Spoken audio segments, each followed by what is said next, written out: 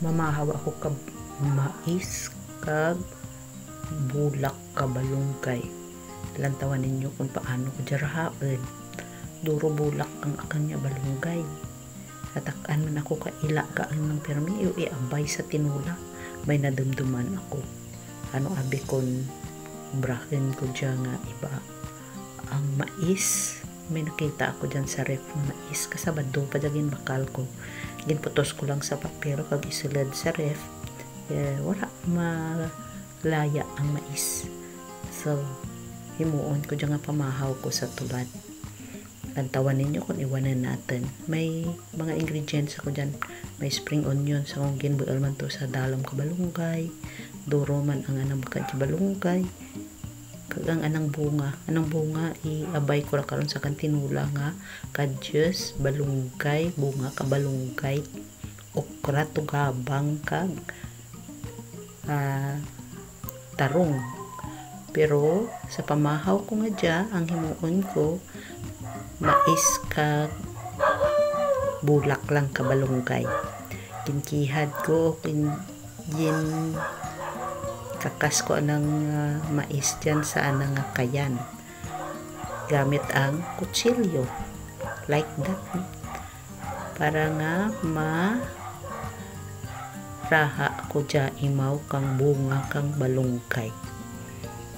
Namit siya natirawan ko rin dyan. Di tayo hagaan ko rin gani kaina pero dyan ipakita ko ninyo kung paano ko dyan ginhimo nagbutang ako kang mantika sa atin niya karaha.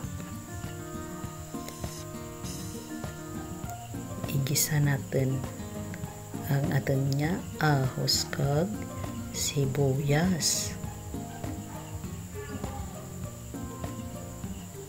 So samtang nagagisa pa kita dyan sa mga wala pa nakasubscribe kang akin niya YouTube channel palihog lang subscribe. Okay. Ginbutang ko ang mais. Mais ginuna natin. Butang siyempre raha-rahaan pagawa natin na ito. Mais mo bulak balunggay dasig larata na maraha. Pero ang mais medyo buhay-buhay. So ginuna natin ra. Uh, pagraha ka mais ibutang natin ang bunga kang balunggay. At bulak gali kang balunggay bukat bunga bulak kang balunggay hmm. te isimpon lang natin ra dyan. Kag siyempre butangan natin di akan mga seasoning dyan. Para nga may lasa man ang atin niya.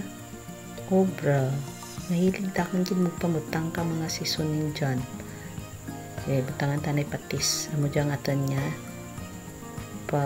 Palasa patis. Huwag na tayo maglagay ng asin dyan. Patis na lang. Then nor cubes. May nor cubes na kamay. Butangan natin kang magic syrup magic syrup Jinimoto kamay. Okay. Then, ang black pepper. Black pepper. Ibutang natin ang atin niya spring onions. Okay, dyan rin. So, raha-raha. Nganta lang ra. Para nga maraha kag mapamahaw tadayon mais with matching balonggay flour. Testing. Testing yan. Kung okay ng sabor. So, kung hindi pa, simpre, butangan taparya kang iba dyan. Nga pampalasa. May oyster sauce kita nga gamay ibutang. Na, gamay lang. Gamay lang oyster sauce. Kunura, okay lang man.